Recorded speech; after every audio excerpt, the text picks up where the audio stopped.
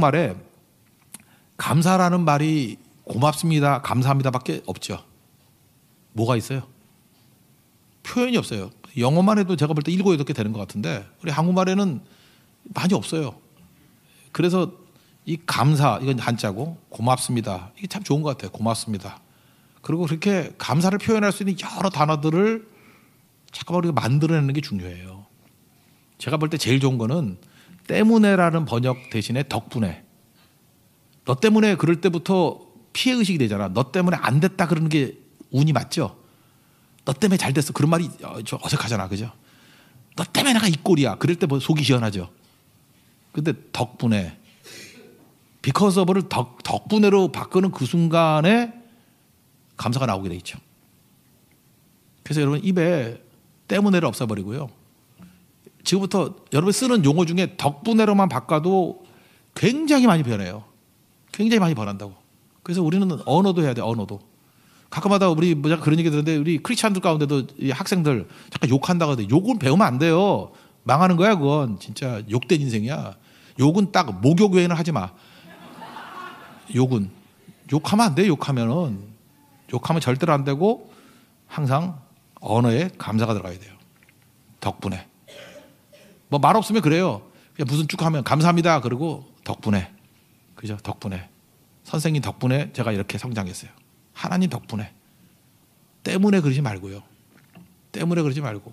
그게 되게 중요한 것입니다. 그러니까 언어의 변화. 그래서 빌립보서 4장 6절 뭐 외우잖아요. 아무것도 염려하지 말고 모든 일에 기도 강구 어, 너희 구할 것을 감사함으로 하나님께 아뢰라. 염려 말고 기도하라. 그래야면 모든 지각에 뛰어난 하나님의 평강이 너희 마음과 생각을 지키리라.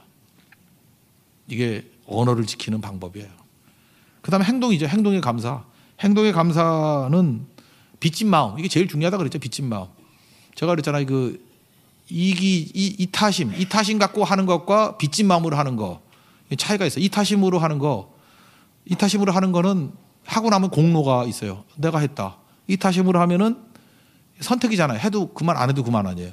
그래서 이 타심은 생각보다 생명이 길지 않아요. 신앙의 목표가 정상이 아니라 완주라 그랬잖아요. 끝까지 가는 사람 구원받는다. 죽도록 충성하라. 내가 생명의 간을 줄이라. 그러니까 완주의 목표라 그러면 완주는 그 이타심 갖고는 완주 못해요. 그러니까 내 윤리 도덕 갖고는 완주 못해. 윤리가 무슨 힘이 있어? 남들 쳐다볼 때는 하지만 안 쳐다보면 못해요. 그런데 빚진 마음을 해요. 이번 고성선교가 13차잖아요. 대만은 14차고. 이렇게 쭉 가는 이유가 뭐예요? 빚진 마음일 땐 가요. 내가 복음에 빚졌다. 지금도 우리 성도들 가운데 전도에서 복음에 빚진 분들이 있어요. 그런 분들은 어떻게든 시간을 내서 복음 증거하려 그러고 어디 외국에 가 있다가도 성교 때 온대요. 와서 합류한다 그러고.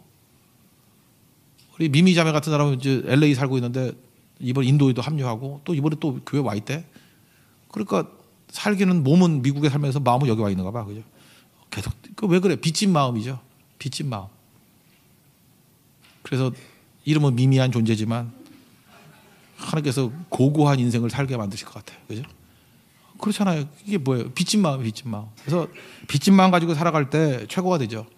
로마서 1장 14절인가요? 내가 빚진 자라 그러잖아요. 내가 빚진 자라. 빚진 자라는 게 뭐예요? 내 것이 아니라는 거죠. 하나님께서 주셨다. 받으면 축복이 사명으로 가야 돼. 또 흘러가야죠. 그래서 성령께서는 아까 두 가지 한다 그랬잖아요. 예, 오직 예수, 예수님만 쳐다보라고. 예수님만 쳐다보면 예수님 모든 걸 주잖아요. 빚진 자. 그 다음에 이웃이 모이잖아요. 이웃에게 전도 명령. 동생을 찾으라. 빚진 마음. 그러니까 두 가지예요. 주님 쳐다봐라, 이웃 쳐다봐라. 그래서 율법이 뭡니까 그랬더니 하나님 사랑하라, 이웃 사랑하라. 이게 율법이야 선지자다. 뭐 똑같은 얘기지 뭐 다른 얘기예요? 성령께서 내게 주시면 우리가 건강해지는 길이 뭐냐? 뭐 제레미 다이아몬드가 얘기했던 것 같이 총균세 그 개념이 뭐냐 하면 좋은 거 영접하고 좋은 거 영접하고 그 다음에 어렵더라도 가서 흘려보내. 그러면 균이 있다 할지라도 건강해져. 이게 뭐 성경 말씀 똑같은 거 아니에요? 하나님 사랑하고 이웃 사랑해. 하나님께 공급받고 동생을 찾아. 뭐, 뭐가 달라요? 자, 성경은요, 그거 석장 정도에 다 요약되어 있는 것을 그 친구는 500페이지로 써놨어. 복잡하게, 뭔 소리도 모르게. 그죠? 농업혁명부터 시작해서 뭐 가축이 어떻고 뭐 명나라가 어떻고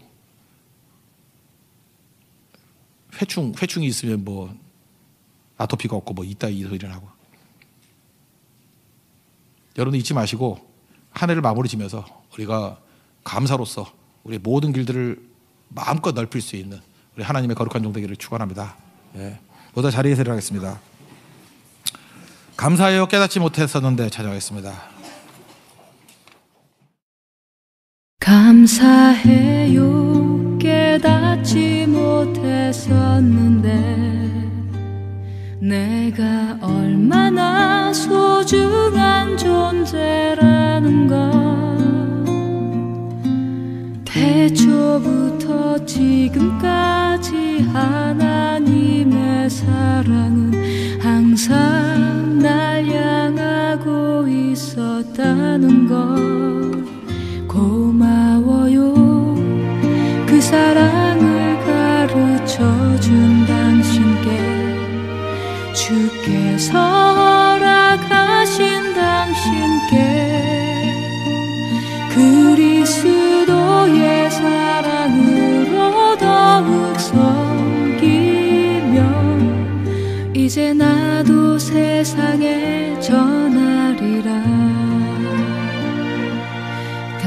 당신은 사랑받기 위해 그리고 그 사랑 전하기 위해 주께서 택하시고 이 땅에 심으셨네. 또 하나의 열매를 바라시며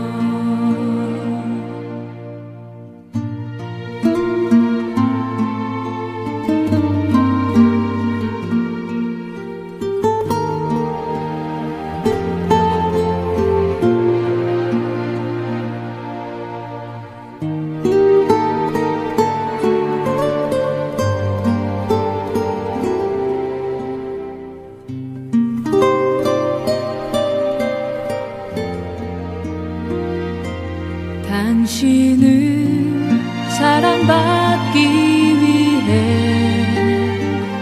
그리고 그 사랑 전하기 위해 주께서 택하시고 이 땅에 심으셨네.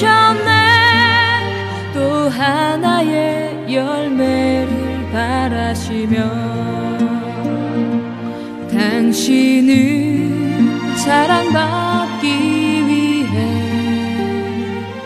그리고 그 사랑 전하기 위해 주께서 택하시고 이 땅에 심으셨네.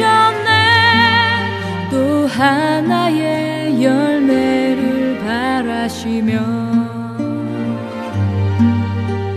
또 하나의 열매를 바라시며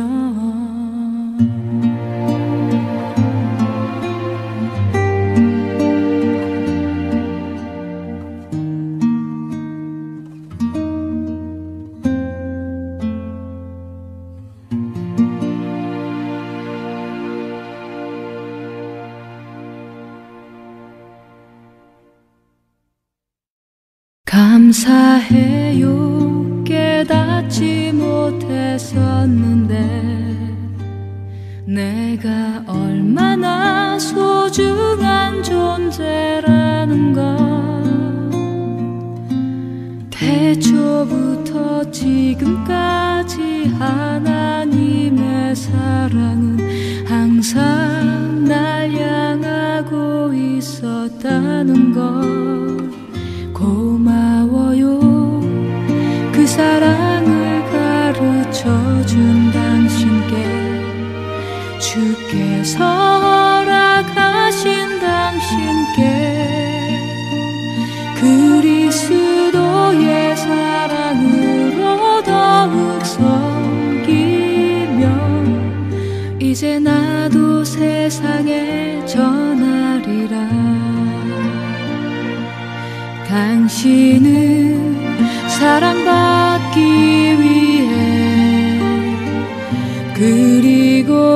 사랑 전하기 위해 주께서 택하시고 이 땅에 심으셨네.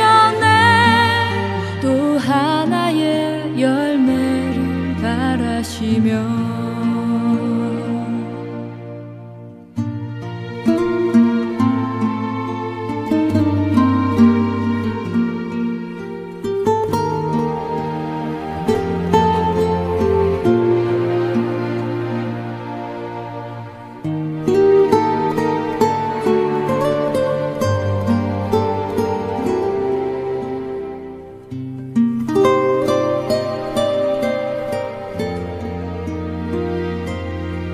당신을 사랑받기 위해 그리고 그 사랑 전하기 위해 주께서 택하시고 이 땅에 심으셨네.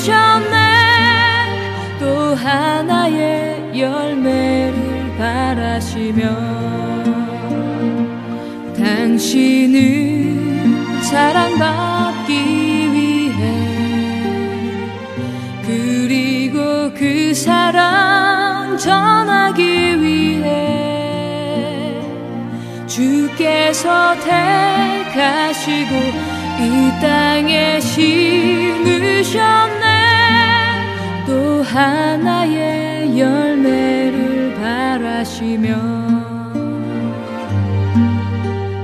하나의 열매를 바라시며